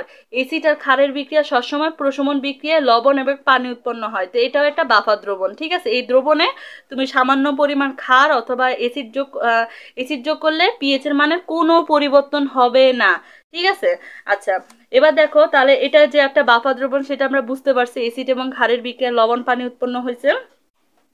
আচ্ছা তো এখন দেখো আচ্ছা লবণ আর পানি যে উৎপন্ন হয়েছে, সেটা তো জানো না? এই যে দেখো, একটু আগে কিন্তু আমরা উৎপন্ন করছি। এই যে CS three, C double O N A, এটা কিন্তু একটা লবণ, জানো তো? আচ্ছা লবণ উৎপন্ন হয়েছে এবং এই যে পানি উৎপন্ন হয়েছে, এটা একটা বাফা দ্রবণের হিসেবে এখন ক্রিয়া করবে। আচ্ছা তো এটা বাফা দ্রবণ হইল, এখন যেটা বলতেছি যে আমাদের সি দ্রবণটা অম্লীয় এবং বাফা দ্রবণ। আচ্ছা তো এই দ্রবণে অল্প পরিমাণ খার যোগ করলে কোনো পরিবর্তন হবে না। এটার একটু ব্যাখ্যা যদি দেই, ধরো যে এখন আমাদের যেটা আছে, আমাদের বিক্রিয়াটা কি? প্রথমে বলবা যে আমাদের দ্রবণটা হচ্ছে একটা অম্লীয় দ্রবণ, অম্লীয় বাফা দ্রবণ। বাস, এটা বলে ফেলবা, যেহেতু পিএইচ এর মান বের করে বুঝতে পারছ এটা অম্লীয়। এরপরে দেখো, এই যে আমাদের সিএস থ্রি আর এনওএইচ এর ক্ষেত্রে সিএস থ্রি যদি বিয়োজিত হয়, তাহলে এই যে এইভাবে বিয়োজিত হয় ঠিক আছে? যে CSC C double O minus ion আর এইচ প্লাস আয়নে আর এই যে আমাদের লবণ, যেটা উৎপন্ন হয়েছিল, এই CS three C double O N এটা যদি বিয়োজিত হয়, তাহলে CS three C double O minus plus sodium ion হিসাবে। যদি কঠিন লাগে, কঠিন লাগার কি, এই দুইটা লাইন মুখস্থ করতে পারবা না, পুরা টেস্ট পেপারে এগুলাই আসে। ঠিক আছে? আমি এখন যেটা দেখাবো, সেটাই বারবার আসে। তো এই দুইটা লাইন মুখস্থ করা কি আর এমন ব্যাপার? আচ্ছা এখন দেখো, অম্ল। যদি আমরা এই যে এই বিক্রিয়ার ক্ষেত্রে আমরা যদি অম্ল যোগ করি মানে আমাদের সৃজনশীলে যেটা চাইছে সেটা হচ্ছে এটা। এটা হচ্ছে আমাদের সি নাম্বার হচ্ছে একটা অম্লীয় বাফা দ্রবণ, সেটা আমরা বুঝতে পারছি, কারণ পিএইচ এর মানটা হচ্ছে সেভেনের কম। এটা একটা অম্লীয় বাফা দ্রবণ। এই ক্ষেত্রে আমাদের এই বিয়োজনটা এভাবে হচ্ছে। এখন এটার ক্ষেত্রে যদি আমরা একটু অম্ল যোগ করি মানে এইচ প্লাস আমরা জানি কি? এসিড এসিড মানে কি বোঝায়? একটু এইচ প্লাস আয়ন বোঝায়, তাই না? এখন যদি আমরা এটা যোগ করি, তাহলে দেখো আচ্ছা CS three C double O এভাবে বিয়োজিত হয়ে আছে। এখন আমরা এইচ প্লাস আয়ন যদি যোগ করি, তাহলে কি হবে? দেখো, এই যে এই দুইটা যোগ করলে আবার সেই আগেরটাই আসে। C S three C double H এটা আস্তে আস্তে। আবার ধরো যে এই দ্রবণে আমরা একটু খাট যোগ করব। ঠিক আছে? তাহলে এখন আমরা যদি দেখি যে সি এস থ্রি আচ্ছা এখন আমরা ক্ষার যোগ করব, ঠিক আছে? তাহলে খার কি? ক্ষার জানিয়েছে আমরা হাইড্রক্সিল আয়ন মানে খার বোঝায়। আচ্ছা এখানে আমাদের কি আছে? এস প্লাস আয়ন বিয়োজিত হয়ে আছে। তো এস প্লাস আয়নের সাথে খার যদি অ্যাড করি, তাহলে কি আসে? আমাদের পানি আসে। তাহলে অর্থাৎ কোনো কিছুই হয় না, কোনো পিএইচ এর মানের কোনো পরিবর্তন হয় না, ঠিক আছে? এবার আসো, এটা তো আমাদের এসিডিক ছিল, তাই না? এখন যদি আমাদের পরীক্ষার হলে কোনো ক্ষারীয় কিছু দেয়, যখন আমাদের, যদি আমাদের পিএইচ এর মানটা ক্ষারীয় মানে এইট হয় মানে পি সেভেনের বেশি হয়, তখন তো ক্ষারীয় হবে পিএইচ এর মান সেভেনের বেশি হলে ক্ষারীয় হবে না? যদি ক্ষারীয় হয়, তখন কি করব? ক্ষারীয় বাফা দ্রবণের ক্ষেত্রে কি করব? দেখো এই ক্ষারীয় ক্ষেত্রে আমাদের আবার এনএইচ ফোর সিএল এটাই সবসময় উদাহরণ হিসাবে আসে আর কি। তো সেই জন্য এটাই দেখাই দিচ্ছি। যদি ক্ষারীয় হয় যে এনএইচ ফোর ওএইচ এটা বিয়োজিত হয় এনএইচ ফোর প্লাস এবং হাইড্রোক্সিল আয়ন হিসাবে। আচ্ছা তো আরেকটা হচ্ছে যে লবণ, ঠিক আছে? এনএইচ ফোর সিএল এটা বিয়োজিত হয় এভাবে। এখন এটাতে যদি আমরা অম্ল যোগ করি, অম্ল মানে কি? এইচ প্লাস আয়ন যোগ করি। কোনটার সাথে যোগ করব? এই যে আমাদের ওএইচ এর সাথে। যদি যোগ করি, তাহলে পানি উৎপন্ন হচ্ছে, তাই না? আবার যদি আমরা ক্ষার যোগ করি, ক্ষার মানে কি? হাইড্রোক্সিল আয়ন এটার সাথে যে আমরা আমাদের এনএইচ ফোর এটা তো আগেই ছিল, আর আমরা ক্ষার এক্সট্রা যোগ করলাম। তাহলে কি হয়? এনএইচ ফোর ওএইচ সে আগেরটা আস্তে আস্তে। তার মানে তেমন দ্রবণে কোনো তেমন পরিবর্তন হচ্ছে না। তার মানে পিএইচ এর মানের কোনো পরিবর্তন হয় না। এটাই হচ্ছে আমাদের বাফা দ্রবণ। তো এখানে আমাদের এটাই বসছে আর আমাদের এই সৃজনশীলটার ক্ষেত্রে পিএইচ এর মান সেভেনের কম, অর্থাৎ অম্লীয়, আর অম্লীয় বাফারের ক্ষেত্রে এতটুকু হবে। এখন বলতে পারো এটুকুই যে ডাইরেক্ট লিখবা সেটা না। তোমরা তোমাদের টেস্ট পেপারে আমি তোমাদেরকে যেসব সৃজনশীল এক্সামগুলো দিতেছি, সেগুলোর ভিতরে এগুলো অবশ্যই আছে। আমি জাস্ট বুঝাই দিলাম। চারটা লাইন তোমরা একটু বাংলা ভাষার ব্যাখ্যাটা পড়ে নিবা, ঠিক আছে? ব্যাখ্যাটা পড়ে জাস্ট একটু ব্যাখ্যা করে লিখে দিবা, দুই, তিন পৃষ্ঠা, এটাই হবে। আচ্ছা তো আশা করি বুঝতে পারছ, অম্লীয় বাফারের ক্ষেত্রে এমন। আর যদি কোনোভাবে পরীক্ষায় ক্ষারীয় বাফার আসে পিএইচ এর মান যদি সেভেনের বেশি হয়, ক্ষারীয় বাফার আসে, তখন এরকম হবে। জাস্ট এই এই চারটা বিক্রিয়া এই চারটা লাইন লিখে ফেললেই হবে। এরপরে বাংলা ভাষার ব্যাখ্যা দিবা। তো ব্যাখ্যাটা কোথা থেকে পড়বা? আমাদের টেস্ট পেপারে আছে। আমি তোমাদেরকে যে দশটা সিজনশীল এক্সাম্পল দিচ্ছি, সেখানে অবশ্যই পাবা। খুব ভালো করে পড়ে ফেলবা। কঠিন কিছু না জাস্ট বাংলা ভাষার ব্যাখ্যা। আচ্ছা এবার আসো যে পরের সৃজনশীল আসি। এবারে সৃজনশীলটা দেখো, কি বলছে? যে একটা পাত্র, এই পাত্রে কি আছে? Zero point zero two five M, ঠিক আছে? এখানে zero point zero two five M ঘনমাত্রা দেওয়া আছে কস্টিক সোডা আছে এখানে সিক্স এম এল তো কস্টিক সোডা এত ঘনমাত্রার, এত আয়তনে এত এম এল আছে আর কি। বি পাত্রে বি পাত্রে কি আছে? Zero point eight five M, ঘনমাত্রা দেওয়া আছে। কার? CST C double S ethanoic অ্যাসিডের কত এম আছে? একশো পঞ্চাশ এম আচ্ছা ভালো। এখন বলছে পিএইচ নির্ণয় করো। পিএইচ নির্ণয় করব। কোনটার? এ প্লাস বি মানে হচ্ছে এই দুইটা পাত্রের মিশ্রণের পিএইচ নির্ণয় করতে। আচ্ছা বলো তো কি বলছি? দুইটা পাত্রের যদি মিশ্রণের পিএইচ নির্ণয় করতে বলে, তখন আমরা কি করব? হ্যান্ডারসন হ্যাসেলবার্গের সমীকরণ ইউজ করব।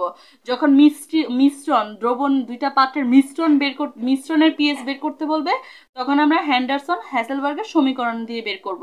আর যদি শুধু এই পাত্রটা বের করতে বলতো, তখন আমরা যে পিএস এর যেসব সূত্র, সেগুলো ইউজ করতাম। আচ্ছা এখন আসো যে তাহলে আমরা এটা বের করি।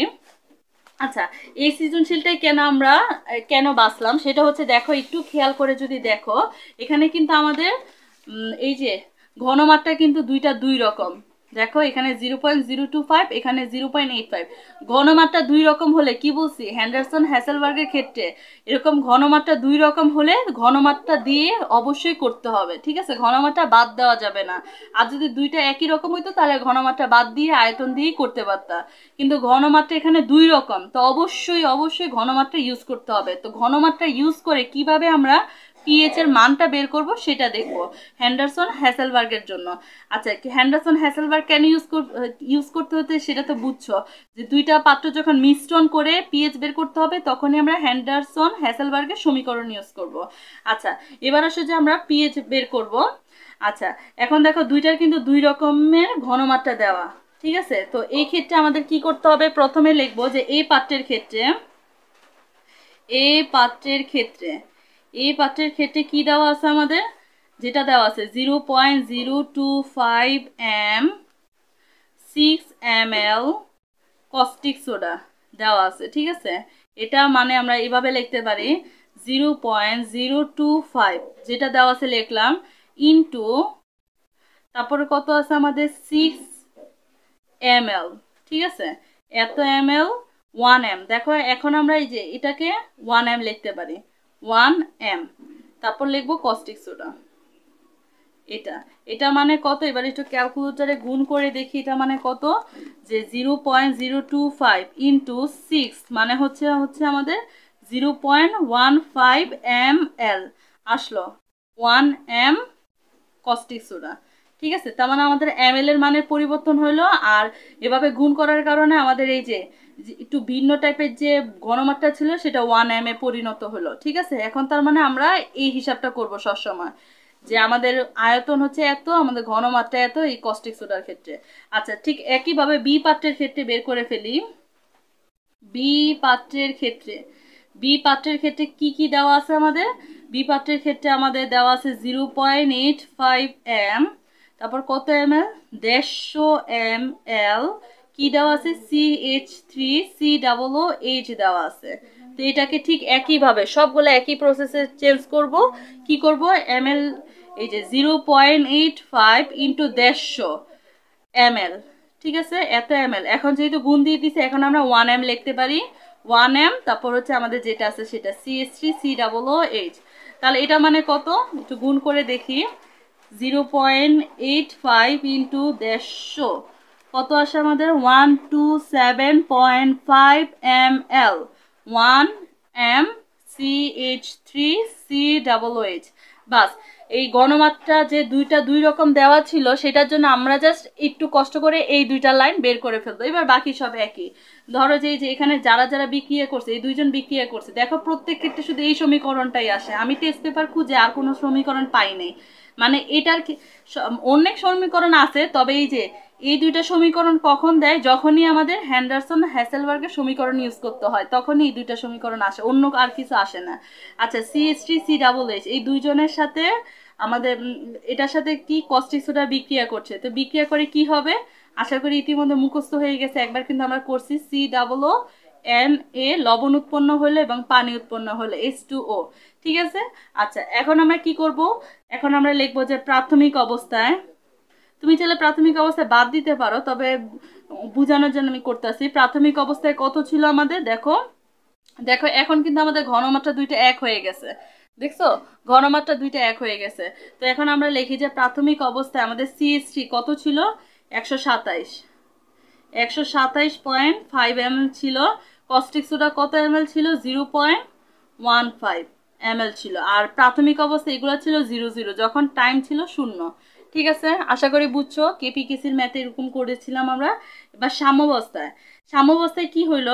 এখান থেকে বিয়োজন যাবে যে মাইনাস এক্স পরিমাণ। তো এখানে আমাদের এক্সের পরিমাণ কোনটা ধরবো? যেটা সবচেয়ে কম। এই যে এখানে হচ্ছে সবচেয়ে কম হচ্ছে এটা। তো আমাদের একশো সাতাইশ point five minus zero point one. এটা হচ্ছে আমাদের সিএসটির ক্ষেত্রে, সিএসটি সি ডাবল এইচ এর ক্ষেত্রে।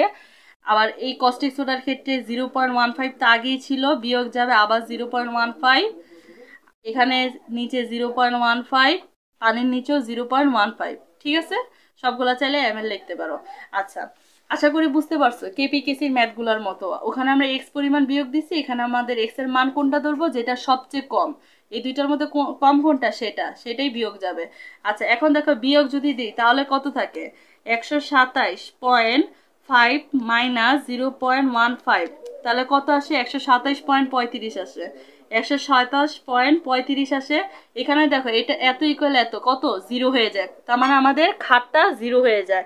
আচ্ছা খার বিক্রিয়া করে একদম নাই হয়ে যায়। আর বাকিগুলো তো আছে আচ্ছা এরপরে দেখো, এই পর্যন্ত, এবার বাকি কিন্তু প্রসেস একই। এখন কি করবা বলো তো?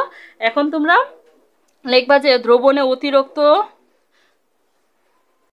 আচ্ছা এবার দেখো, অতিরিক্ত অম্ল বা এসিডের পরিমাণ কত আমাদের? বিয়োগ করে যেটা পাইলাম, একশো সাতাইশ পয়েন্ট পঁয়ত্রিশ এম এবং উৎপন্ন লবণ, লবণের পরিমাণ কত? Zero point one five M তো এখন আমরা কি পাইলাম? লবণের পরিমাণ পাইলাম আর অম্লের পরিমাণ পাইলাম। এখন তুমি চাইলে যে আমি একটু আগে যে দেখাইছিলাম যে লবণ অনুপাত আমাদের কি অম্ল? অম্ল এবং লবণের অনুপাত বের করতে পারো এরপরে? সেই সূত্রের ভিতরে বসাই দিতে পারো। এভাবে করে কিন্তু একবার দেখাইছি। এখন বলতে পারো যে, এখানেও কি আর গণমাত্রা দরকার নাই? দেখো, আমরা কিন্তু এখানেও আবার গণমাত্রা এক করে ফেলছি। দেখছ? একই মান করে ফেলছি। তো তুমি চাইলে আগের পদ্ধতিতে করতে পারো, যেটা আমি দেখাইছিলাম। এই পদ্ধতিতে দেখাইছিলাম মনে হয়। তো সেখানে দেখো ঘনমাত্রা এক হয়ে গিয়েছিল, সেজন্য ঘনমাত্রার ইউজ করি না এখানেও ঘনমাত্রা এক হয়ে গেছে, এখন কিন্তু আর ঘনমাত্রা ইউজ না করে লবণ আর অম্লের অনুপাত দিয়ে করে ফেলা যায়।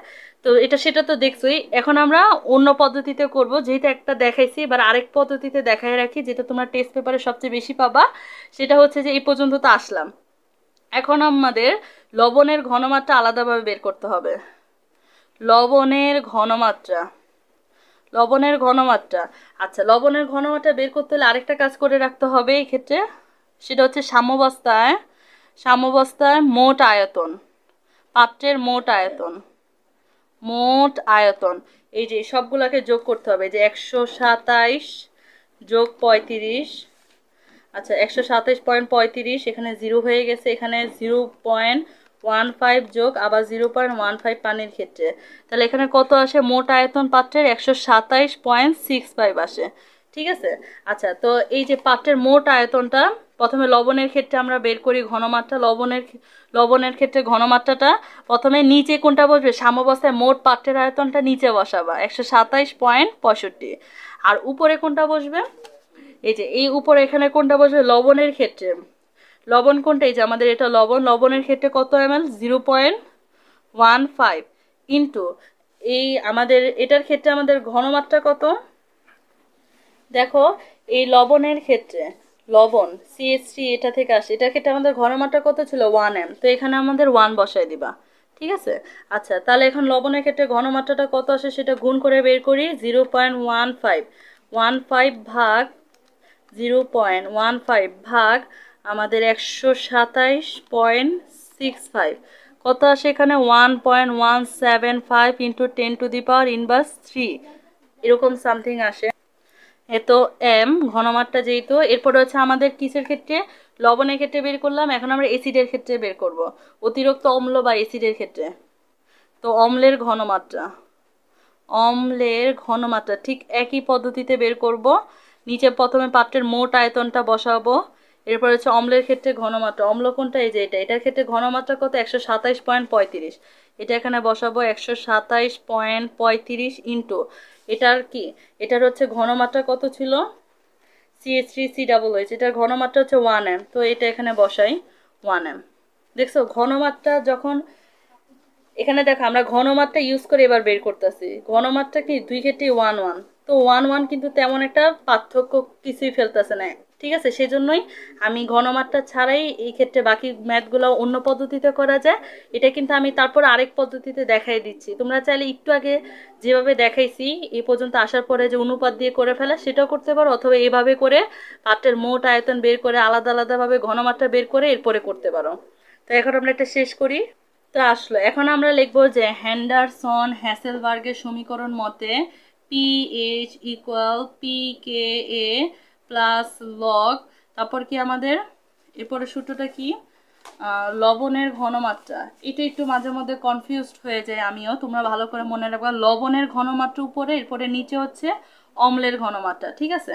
আচ্ছা এখন পি কে মানে কত? মাইনাস লগ কে এ চোখ বন্ধ করে বসাই দিলাম প্লাস লগ এবার দেখো, আমরা লবণ আর অম্লের ঘনমাত্রা কিন্তু এবার আলাদা আলাদাভাবে বের করছি, তাই না? এই যে বের করছি।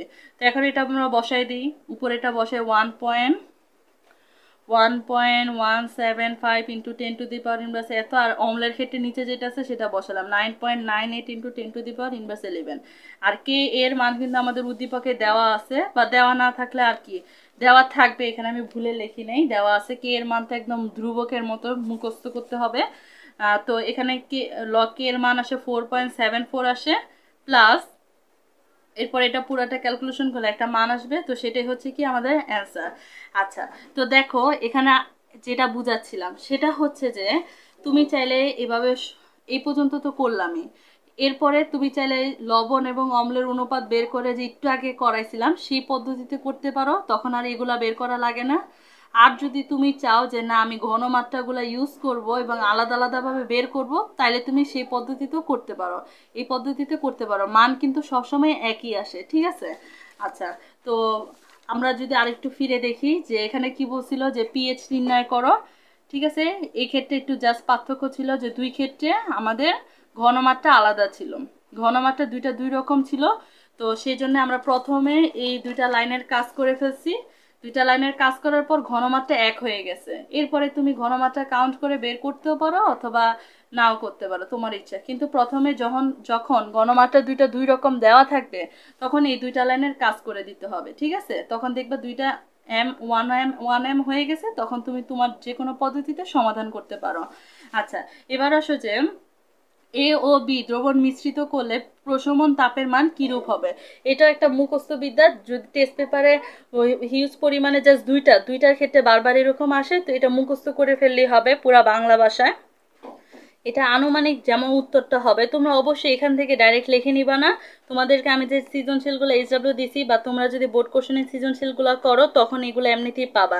এটার মোট কথা হচ্ছে, আমি বলি যে প্রশমন তাপের মান। ঠিক আছে? এ ও বি যদি মিশ্রণ করে দিই, প্রশমন তাপের মান কেমন হবে? তো এতে একটা আছে আর বিতে একটা আছে। তো প্রথমে দুইটা আমাদের বিক্রিয়া যেরকম করে, সেই বিক্রিয়াগুলো, আনুমানিক বিক্রিয়াগুলো লিখবে। এই কয়েকটা, এই দুইটাই ঘুরে ফিরে আসে। তো ভালো করে পড়লেই হবে। জাস্ট এটা বাংলা ব্যাখ্যা, একই কথা বারবার আসে যে দ্রবণে এইচ প্লাসের পরিমাণ কম থাকে, ফলে সম্পূর্ণ হাইড্রোক্সিল আয়নকে প্রশমিত করতে আমাদের এই ইথানোয়িক অ্যাসিডকে বারে বারে বিয়োজিত করতে হয়, ফলে দুর্বল অ্যাসিড ও সবল ক্ষারে প্রশমন তাপের মান সবসময় এই যে মাইনাস ফাইভ পয়েন্ট মাইনাস পঞ্চান্ন পয়েন্ট চোদ্দ কিলোজুল হয়। আচ্ছা এই মানটা সবসময় CS three C double H এবং কস্টিক সোডার ক্ষেত্রে এরকম হয়। আচ্ছা এবার দেখো, অর্থাৎ প্রশমন তাপের মান, আমাদের ইথানিক অ্যাসিডের বিয়োজন তাপ বাদ যায় বা খরচ হয়। তো টু পয়েন্ট টু হচ্ছে CS three C double H এর বিয়োজন তাপ। হ্যাঁ এই যে এই বিয়োজন তাপ এবং আমাদের কস্টিক সোডার বিয়োজন তাপ দুইটা যোগফল করে দিলে এটা আসে। এটাই হচ্ছে আমাদের প্রশমন তাপের মান। এখন বলতে পারো এই মানগুলো কোথায় পাবো? এগুলো মুখস্থ করার ব্যাপার। মুখস্থ কোথা থেকে করবা? কোনো আলাদা বই ঘাটতে হবে না। তুমি টেস্ট পেপারের এক এক করে সৃজনশীল সমাধান করো, তখন দেখবা যে জাস্ট ঘুরে ফিরে এটাই আসতেছে। আরেকটা আসতে পারে, যেটা এই দুইটার ভিতর, এই দুইটার বাইরে পর্যন্ত কখনো দেখি নেই, সেটা হচ্ছে যে আমাদের এইচ এফ এর, ঠিক আছে? এইচ এফ এর ক্ষেত্রে। তো এটা অবশ্যই তোমাদের এখান থেকে লিখতে হবে না। তোমরা টেস্ট পেপার সলভ করলে বুঝবা, ঠিক আছে? বাংলা ভাষার ব্যাখ্যা জাস্ট প্রশমন তাপের মানটা জানা থাকলেই হবে, ঠিক আছে? মুখস্থ মানটা মুখস্থ রাখলেই হবে। তো এটা অবশ্যই টেস্ট পেপার থেকে কয়েকবার যদি রিডিং পড়ো, তাহলে এমনিতেই তোমাদের মুখস্থ হয়ে যাবে। এটা কঠিন কোনো কিছু না, কোনো ম্যাথও না। আচ্ছা এরপরেরটাতে আমরা যাই। এ প্লাস বি মিশ্রণের প্রকৃতি কীরূপ হবে? তো এই যে এ ও বি মিশ্রণের প্রকৃতি কীরূপ হবে, সেটা যদি তুমি শিখতে চাও, এটার জন্য তোমাদেরকে কিন্তু আমি একটা তিনটা ভিডিও গিফট করেছি, তোমরা অনেকেই জানো, পরিমাণগত রসায়ন, তার মধ্যে একটা। তো পরিমাণগত রসায়নের যে ভিডিওটা তোমাদেরকে আমি দিয়েছি, সেই ভিডিওটা তোমরা একদম এ টু জেড দেখবা তাহলে এই সৃজনশীলটা খুব সুন্দর করে সমাধান করতে পারবা। আচ্ছা এখন বলতে পারো যে আপু এই ভিডিওতেই দেখাই দিতেন। কারণ মানে এই যে এ পাত্র আর বি পাত্র দিয়ে একটু এলোমেলোভাবে দুইটা টাইপের কোশ্চেন আসে। তো সেই জন্য আমি তোমাকে ওই ভিডিওটা দেখার জন্য সাজেস্ট করব যে তুমি একটু কষ্ট করে হলো পরিমাণগত রসায়ন নিয়ে আমি যে ভিডিওটা দিছি সেটা দেখে ফেলবা। ঠিক আছে? কারণ এই যে এ আর বি পাত্র দিয়ে যখন মিশ্রণের প্রকৃতি বের করতে বলে, তখন এটা পরিমাণগত রসায়নের একটা ম্যাথ চলে আসে। তো ওই ভিডিওতে আমি অনেক বেশি আলোচনা করেছি। অবশ্যই পরিমাণগত রসায়নের যে ভিডিওটা আমি তোমাদেরকে লিঙ্ক দিয়েছি, সেটা এ টু জেড ভালো করে দেখলে তুমি ইনশাল্লাহ এই সৃজনশীলটা সমাধান করতে পারবা। তো যারা যারা এটার অ্যান্সার বের করতে চাও, পরিমাণগত রসায়নের ভিডিওটা দেখে ফেলবা। ঠিক আছে? একদম বিস্তারিত তুমি জানতে পারবা। এতে করে তোমারই লাভ হবে। তুমি রাসায়নিক পরিবর্তনের ক্ষেত্রে ম্যাটটা আসলেও করতে পারবা, আবার পরিমাণগত রসায়নেরও সৃজনশীল হয়ে যাবে। তো সেজন্য বলব অবশ্যই অবশ্যই কষ্ট করে ভিডিওটা দেখে ফেলবা। আর তোমরা এখন অনেকে বলতে পারবে, আপু, আসছি রাসায়নিক পরিবর্তন শিখতে। পরিমাণগত রসায়নের এত বড় ভিডিও এখন দেখব? পরিমাণগত রসায়ন কিন্তু আমি পুরাটা আলোচনা করি নেই। তোমাদের যে লিঙ্ক দিয়েছি, সেখানে কিন্তু আমরা পুরাটা অধ্যায় আলোচনা করি নেই। এই পরিমাণগত রসায়নের লিঙ্কে আমরা শুধুমাত্র এই সৃজনশীলগুলো নিয়ে আলোচনা করেছিলাম। বুঝছ? তো সেজন্য ওই ভিডিওটা দেখলে তোমার জন্যই ভালো হবে, একদম বিস্তারিত জানতে পারবা। তো ওই ভিডিওটা দেখে তুমি ওই টাইপের সব ধরনের সৃজনশীল প্রশ্নে অ্যান্সার করতে পারবা। গ্রুপে অলরেডি এই পরিমাণগত রসায়নের যে ভিডিও লিঙ্ক সেটা আমি দিয়েছি, এছাড়াও এই ভিডিও ডেসক্রিপশন বক্সে আমি লিঙ্ক দিয়ে দিব, দেখে ফেলবা। অবশ্যই নোটও করে ফেলবা। এটা একটা খুব গভীর বেসিক সেজন্য একটা আলাদা ভিডিও দেখে বোঝা উচিত, ঠিক আছে? মানে একটা, এটাকে বলবা যে এক ডিলে দুই পাখি মারা। পরিমাণগত রসায়নও হবে, আবার রাসায়নিক পরিবর্তনের সৃজনশীল হবে, তাই না? তো কষ্ট করে দেখে ফেলবা। এবার আসো আমরা এস ডাব্লিউতে যাই। আচ্ছা তো আজকের ক্লাসটা করার পরে তুমি ক্লাসটা একদম প্রথম থেকে নোট করবা। কয়েকবার নিজে নিজে রিডিং পড়বা, বোঝার চেষ্টা করবা, আমি আশা করি যে বুঝবা। আচ্ছা বুঝার পরে তুমি সৃজনশীল প্র্যাকটিস করবা। তো প্রথমেই কিন্তু বলেছি যে একটা টেস্ট পেপার দরকার বা গাইড বলো অথবা সাপ্লিমেন্ট বলো, তোমাদের একটা যেখানে বিগত বোর্ড পরীক্ষার প্রশ্নগুলোর অ্যান্সার দেওয়া আছে, সেরকম একটা কিছু তোমার দরকার, কিনে ফেলবা। তো সেখান থেকেই তোমরা এই যে দশটা প্রশ্ন দেখতে পাচ্ছ রাজশাহীর রাজশাহী ভোট উনিশ, কুমিল্লা সতেরো, কুমিল্লা ভোট উনিশ, দিনাজপুর সতেরো যশোর দুই হাজার সতেরো, দুই হাজার ষোলো, সিলেট উনিশ, ঢাকা আঠারো, রাজশাহী আঠারো, বরিশাল সতেরো এবং দিনাজপুর ষোলো।